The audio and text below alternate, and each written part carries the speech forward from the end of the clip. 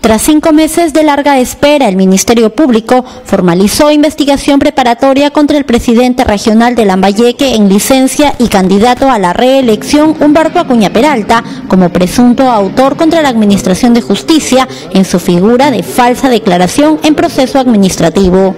De acuerdo a la disposición fiscal número 03 de fecha 18 de agosto, el titular de la Tercera Fiscalía Provincial Penal Corporativa de Chiclayo, Juan Carrasco Millones, ordenó también formalizar investigación preparatoria contra Miguel Ángel Silva Pérez en su condición de personero legal de la agrupación política Alianza para el Progreso. Esto luego que con fecha 17 de marzo de este año, la Procuraduría del Jurado Nacional de Elecciones cursaría un oficio a la Fiscalía informando que el entonces presidente regional consignó datos falsos en su hoja de vida que presentó en los comicios del año 2010 en donde resultó triunfador en segunda vuelta. En ningún lado de este rubro de estudios de posgrado se consigna posgrado o estudio de maestría en la Universidad de Piura.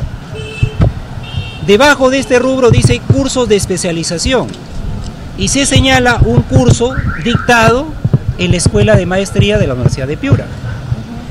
Ese curso dictado en la Escuela de Maestría de la Universidad de Piura es este, ¿no es cierto? Un seminario de gestión del tiempo directo llevado en agosto del año 1998.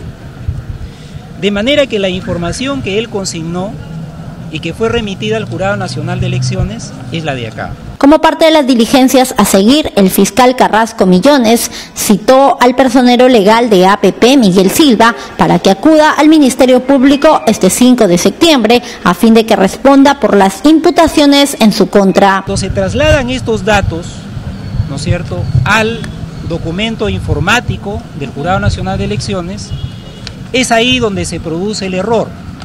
Pero ¿quién lo realiza o quién ejecuta ese, ese, ese error, el personero legal llamado Miguel Ángel Silva Pérez.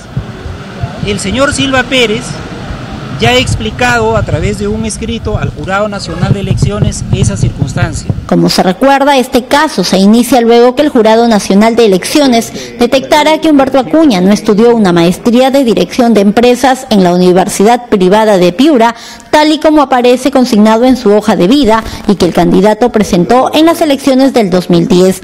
No obstante, en su defensa, Acuña Peralta sostuvo que hubo un error de digitación, toda vez que lo que estudió no fue una maestría, sino un diplomado en dirección de empresas en dicha universidad privada.